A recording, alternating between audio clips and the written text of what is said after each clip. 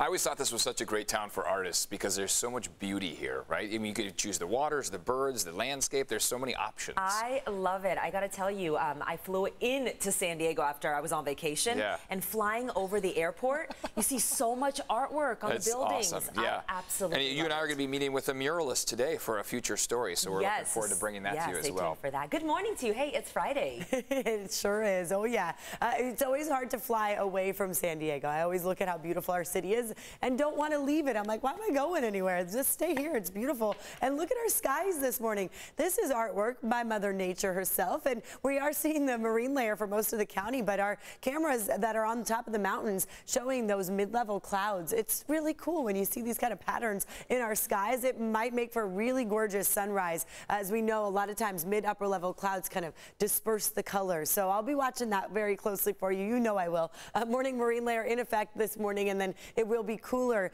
today just by a degree or two. Mostly sunny in the 70s before the heat builds next week. A quick check of traffic here, and just notice uh, some slowing that's going on. So I do want to push into this area right here on the 163 on the southbound side through Hillcrest area. If you're headed towards places like downtown, 11 miles an hour. So it is very slow. I'm going to keep an eye on CHP and see if there's an accident that led to that slowdown. But for now, a heads up, you may want to go a different direction. And then this crash just popping up here on the 5 northbound right at Industrial Boulevard. You don't see much slowing yet, but we know this is a busy commute route for a lot of folks coming in from uh, Chula Vista up north. And then overall, right at the border, it does look pretty smooth. Our wait times, at least if you are headed towards Mexico or coming into the U.S. from Mexico, once you're in, it does look to be pretty smooth sailing. No major incidents or slowdowns there. And I'll send it back to you.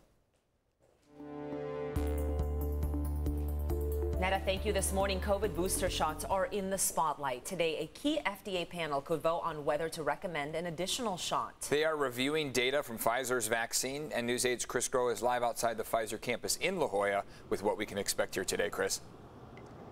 Good morning, and that review is underway. It's something that has been hinted for quite some time right now, and the Biden administration says that it will be something that is likely available soon.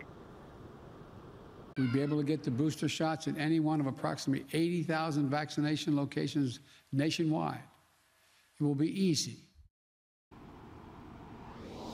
And according to the FDA, this is something that is starting to maybe become a necessity due to the fact that data is showing that vaccine, the Pfizer vaccine, loses some effectiveness after six months, but improves to 95% effectiveness after a third dose. Right now, there is a split on what to do in the medical community still, though. With so many people unvaccinated, some believe the more important thing to do at this point is to focus on getting those who are unvaccinated inoculated. That's because some studies show that the current COVID vaccine's potency against severe disease, even after six months, is still enough. Right now, 65% or so of Americans are fully vaccinated in the country. Meanwhile, that number is 77, 70, excuse me, 77% here in San Diego, approaching 78%, which is very good. The country, meanwhile, again, still behind. Infectious disease, infectious disease doctor at UCSF, Monica Gandhi, says the message should be in, throughout all of this, though, that vaccinations work. It does make me worried that if we talk too much about boosters, that it also may make the unvaccinated who are on the fence think maybe these don't work very well. You have to keep on giving them. And that advisory panel is meeting right now. There's even a doctor from Rady Children's that sits on it. And again, we'll be following their updates to see exactly what does come out of this. But if you have any questions or concerns about the vaccine, just go to our website, CBS8.com, and click on that help button. Eric and Stella. Chris, thank you. New this morning, Del Mar is the latest local city to consider vaccine mandates for its employees. Del Mar City Council will discuss the possible requirements for city workers on Monday. This comes after Imperial Beach discussed a similar mandate earlier this week, but no decision was made there. Meantime, San Diego Unified wants your input on a possible vaccine mandate for staff and eligible students. The district will hold a public discussion at the next regularly scheduled meeting. That's on Tuesday, September 28th. Just one week ago, San Diego Unified leaders told News 8 they didn't feel a mandate was necessary, pointing out good ventilation, mask wearing, and routine testing. Meanwhile, Los Angeles Unified passed a mandate requiring kids 12 and older to be vaccinated to go to school in person. And today there is a hearing for the man who opened fire inside the Chabad of Poway in 2019, where he's set to change his plea. He's expected to plead guilty to federal charges. He already pleaded guilty to state charges, so this is for federal. 60-year-old Lori Gilbert Kaye was killed in the shooting. Three other people were also hurt. Through the plea deals, he will not face the death penalty in both state and federal cases. He will be sentenced later this month in the state's case, facing life in prison without the possibility of parole. The Navy is now using deep sea sonar scans to find the wreckage of a helicopter that crashed off of our coast. According to the Union Tribune, this deep sea search didn't begin right away because the Navy had to bring in special equipment from around the country. Five crew members died in the crash back on August 31st. Well, this is a little concerning here. Violent crime in San Diego County is up by 14% compared to last year. That's according to a new Sandag report. Property crimes rose 10% in the first six months of 2021 compared to last year. Data also shows 50% of burglaries involved force entry. That is a 2% increase from 2020 and 10% increase from 2019. You can read the entire report at CBS8.com. And this report comes as police are looking for the vandals who hit a family business in National City. The owner of Divas Boutique in National City says someone shot out some of their front windows here on Monday night. Something similar happened to them last year. The owner's daughter tells us they've been struggling financially during the pandemic, and this has just made things worse. It's been very slow for us, and it's very hard for us to be keeping up with the rent and all the utility bills and paying for the employees. And having broken windows so often is something that we can't be affording all the time. Oh, it's already been so tough for these businesses. Uh, we do have a link to a GoFundMe account at CBS8.com. If you want help, just click on the help button. Also in National City, police say at least five businesses were hit in a series of break-ins. California's Taco Shop on Highlands Avenue has surveillance video of a break-in. And you can see three people that are in this video here using a sledgehammer on a glass door there they are right there. They did the same thing at the ice cream shop next door and three businesses north on Highland.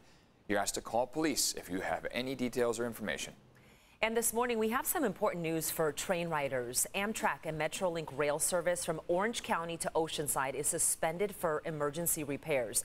Now, the reason? There's an unstable cliff that shifted the tracks in San Clemente that was caused by beach erosion. The shutdown will last about two weeks. They hope to have repairs done and routes reopened by October 4th.